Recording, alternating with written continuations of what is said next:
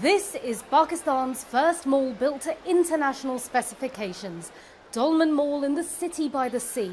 About a third of the shops here are British and at least half of the brands are international. It's not a case of do I come to Pakistan, it's a case of when do I come to Pakistan if you want market share. With a population of around 195 million people and counting, it's not just spending power, but footfall that's making a difference here. And Britain is leading the way by bringing big brand names to the retail industry in Pakistan. Now, it's part of your job to go back to the UK and convince brands and companies to come and invest in Pakistan. Is that a challenge? It is a challenge, and I'd have to be honest that it is a challenge because the perception can be very different from the reality. But it's very interesting that the team that opened Debenhams here in Karachi just a few months ago was the same team that opened Debenhams' first store in Northern Ireland in Belfast in 1989. So there is a direct read across for actually an audience from the UK to understand what's happening here. The security situation in Pakistan has long been a concern for investors. But the success at Dolmen Mall is bucking the trend. We are very happy. This is like the mall we, mo- I mean, visit all the time.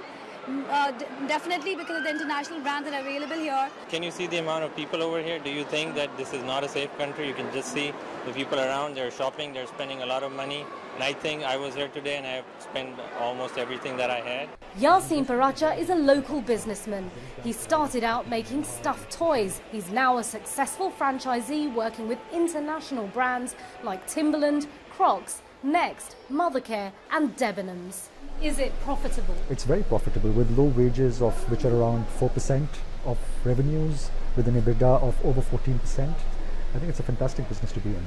What about the Pakistani consumer? How are they responding to all of this? What are they actually buying? It's been an amazing response. Uh, ever since we've opened uh, the first store, um, they've been very welcoming.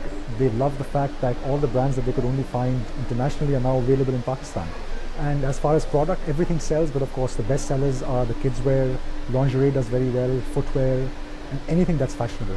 I think it's great for our country, it's great for the economy, and uh, I'm very personally extremely happy because now we have a place to hang out and uh, you know do our shopping in Pakistan as well.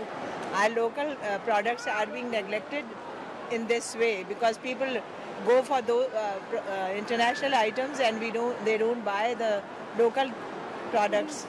I think it gives us, uh, in one word, hope that you know Pakistan is going to be something that we want it to be. It's not just customers who are happy with the success of this mall. Businesses too are profiting. And one of the brands here has a top two performing store globally in like for like retail sales for three consecutive seasons. We're seeing a very healthy pipeline of trade and investment coming in here. And I think that says something about the underlying confidence, in particular in retail, in the Pakistani economy. And that's not all. British officials say they're also working to spread investments into healthcare, education, and the pharmaceutical industries. Saima Mohsin, CNN, Karachi.